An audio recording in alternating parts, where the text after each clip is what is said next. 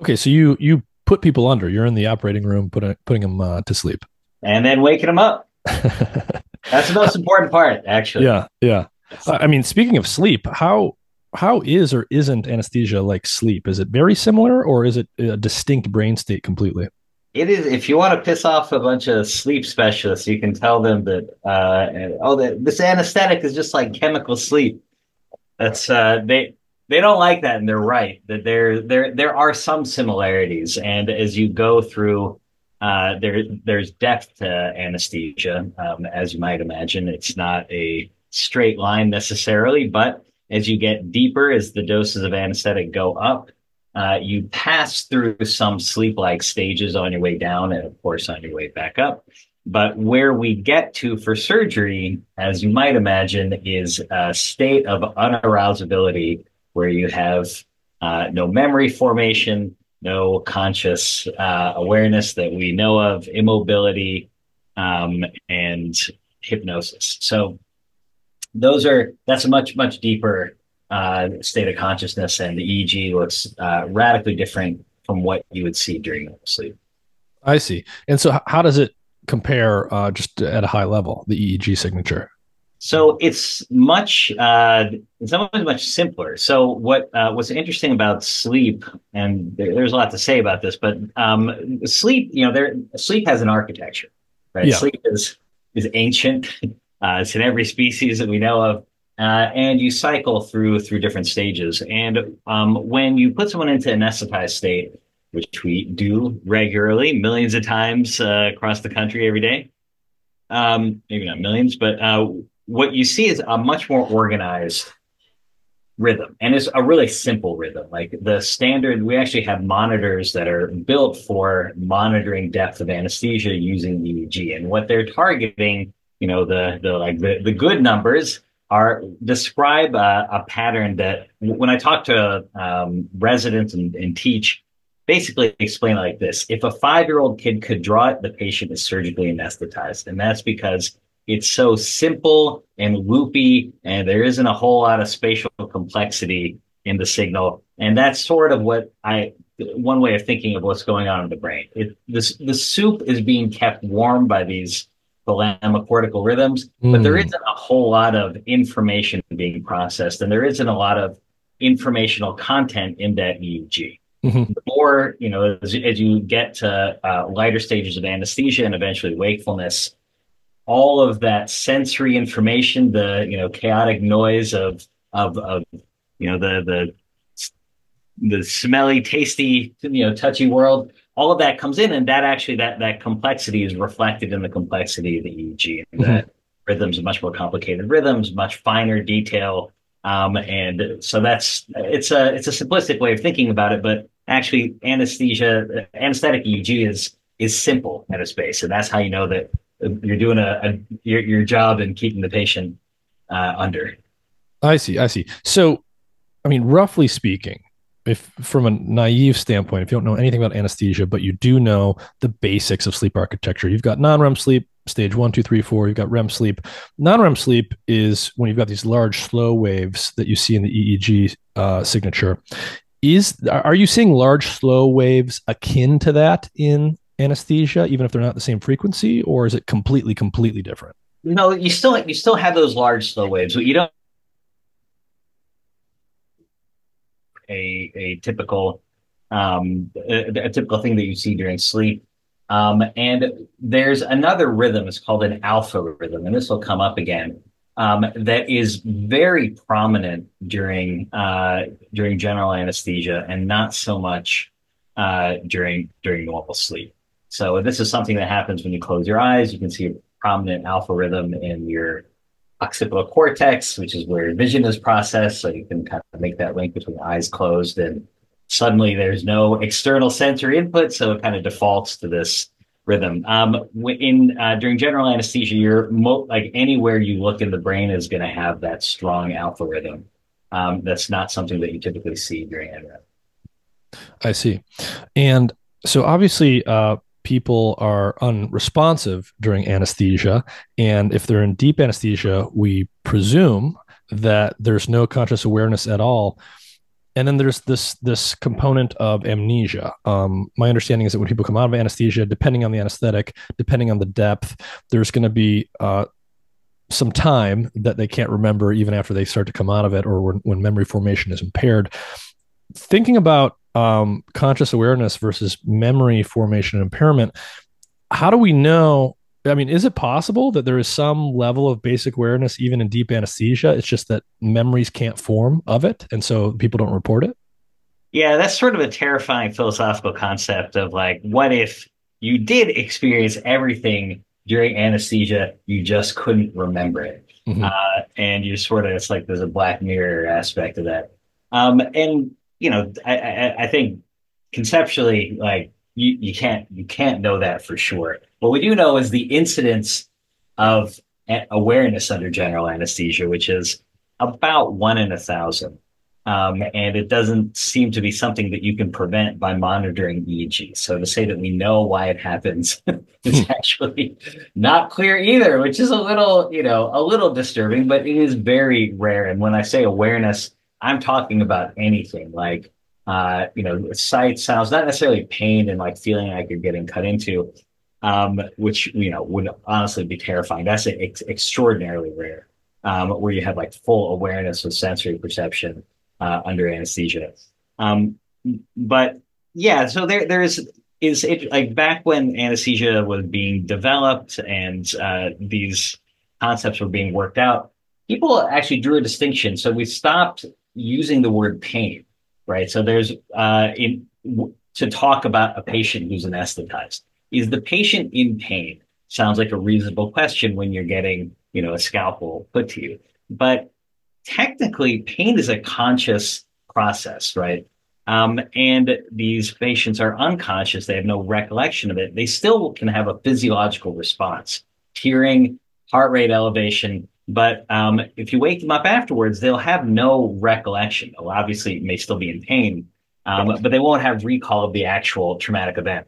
The other thing that um, sort of uh, happened with the language is that we started using this term nociception, right? It's which is uh, the idea that signals can get through, but they don't integrate. They don't integrate into mm. conscious awareness and you can see that actually in a number in a number of ways. So one of the things, so I, I do uh, anesthesia for neurological surgery, so things like aneurysm, uh, cerebrovascular aneurysm repair, um, a, a, number of other things, tumors, and one of the things that we do is we monitor uh, cortical function. We want to make sure the patients aren't having a stroke, but they're not impinging on something important, and uh, we do something called somatosensory evoked potentials, meaning you just stimulate a nerve like uh, your uh, tibial nerve or radial nerve, and you can get uh, a mixed sensory uh, motor response. And you can actually track that impulse as it goes all the way up, and you can eventually see it in your uh, cortex. So you can see that the the signal is clearly getting through. There's a sensory signal that's traveling from the periphery to the center. You can see it with visual evoke potentials. If you flash a light, you'll see uh, things uh, going off in the occipital cortex, even under anesthesia. Brainstem, auditory evoke potentials. All these things are actually routine uh, things that we do to make to, to monitor the integrity of the nervous system. To which means that information is getting through. What's not happening is that mysterious process of integrating it into conscious awareness. Hmm. And that is still very much uh, that's just kind of the the edge of, of, of science right now is understanding how that happens and what that what that consists of. Mm-hmm. So basically, I think it sounds like we understand. You know, we take in information from our sensory organs. We know that that information goes up to our sensory areas of our brain and then it goes elsewhere in the brain. It gets combined and integrated and stuff happens to it. It's processed before it comes into our conscious awareness. Um, and we sort of know at that level that happens. We don't actually know what that integration process looks like exactly. We we can get some clues and i'll point to work at a uh, university of michigan that i like in particular uh, looking at eeg and anesthetic states. Uh, george Mashour is, is one of my my my favorite researchers over there and uh, former head of their department. But uh, you can look at cortical organization, right? So how does information move locally and globally uh, during anesthesia, that you see a lot of uh, a, a, change basically in the architecture of these these cortical modules. So you can uh, see a lot less again complexity and uh, local correlations in activity that um, seem to relate to depth depth of anesthesia. So again, it's this idea that you're disrupting these uh, local and long range interactions, and that's probably related. Those kinds of interactions. That's probably what integration consists of, and the thing that we call consciousness is, I would say, very likely to be the result of all of those uh, you know, the, that that those inter uh, interconnected pieces of your your cortex talking to each other in real time. Mm-hmm. Yeah, I mean, it makes intuitive sense because you know, very very roughly speaking, right? Like we we have uh, a sense of touch, we have a, a you know, we have our eyeballs, we have our ears, we have all these different streams of information, but we don't we don't consciously perceive all these things separately. We have this one unified scene from moment to moment. So, at some sense, all of these different channels have to be literally integrated together somehow so that we have that unified perception.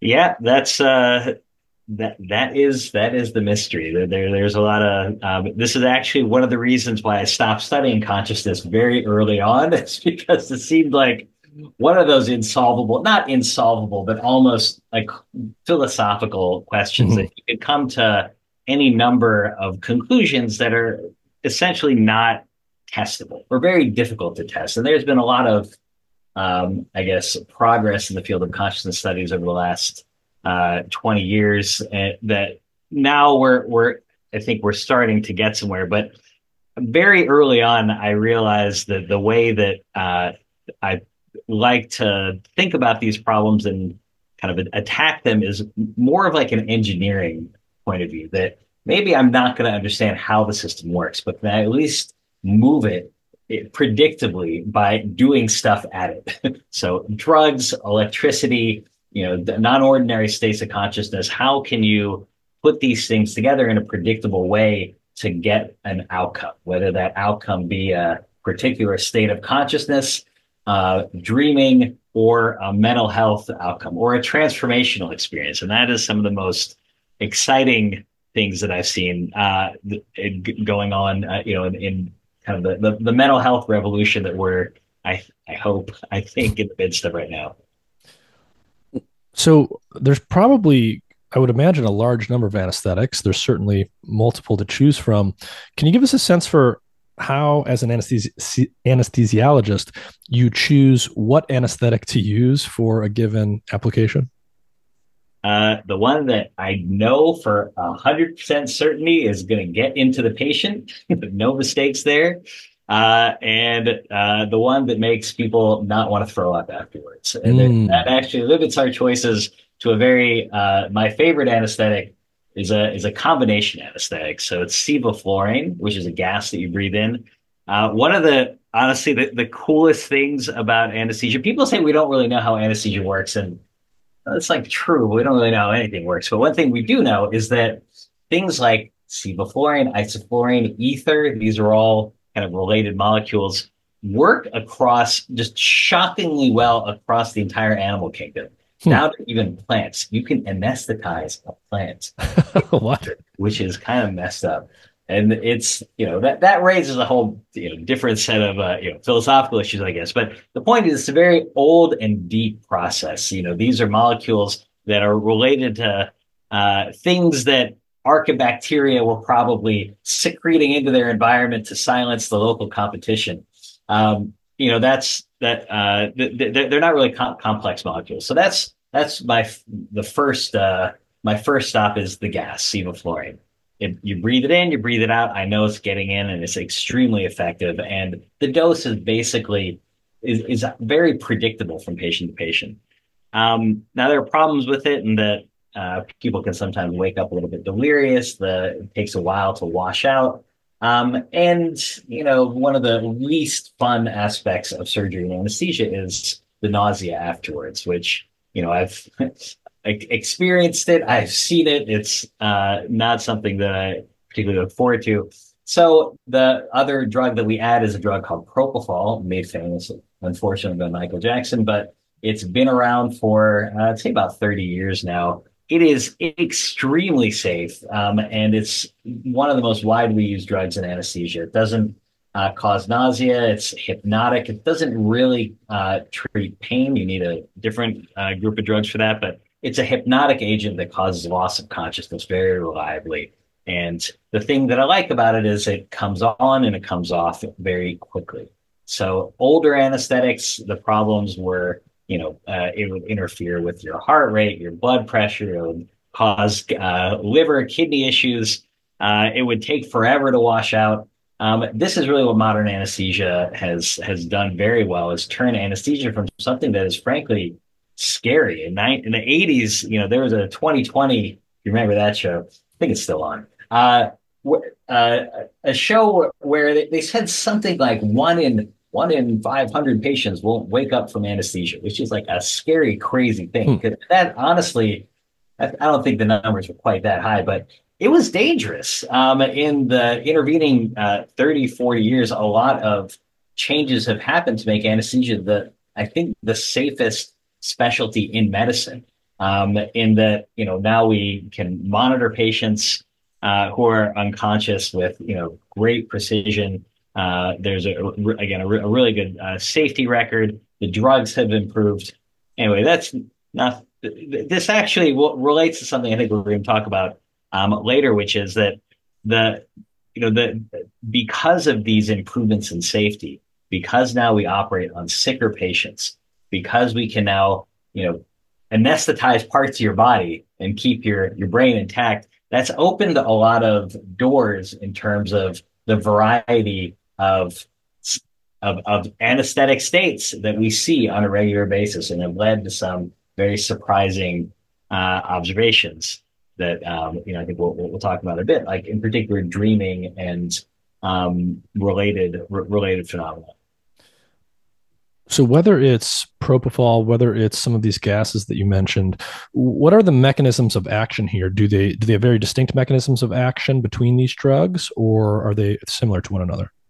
So they're they're different, and each the there's other classes of drugs like uh, dexmedetomidine, uh, for example, that have very specific targets. Uh, in that case, an alpha two adrenoreceptor um, which basically suppresses all of your sympathetic outflow and really puts you. That's as close as we get to like chemical sleep. I think is is dexmedetomidine. But these other drugs, propofol, sevoflurane, they're pretty dirty.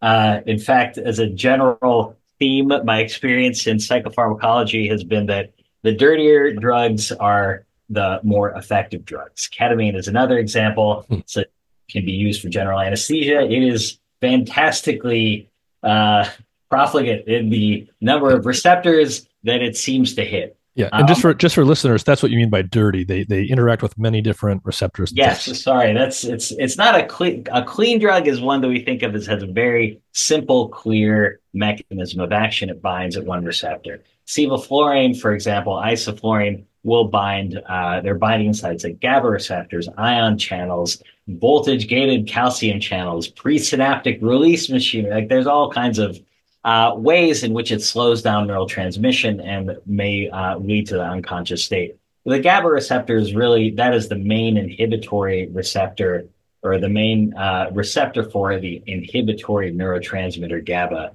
um, in the brain. So what we're doing is we're basically turning up the inhibition in, in your brain with uh, drug like propofol or sevoflurane. Uh, phenobarbital falls in that same category um, until you basically suppress all activity and your your brain goes quiet and you stop forming memories, stop perceiving any uh, anything anything outside of you.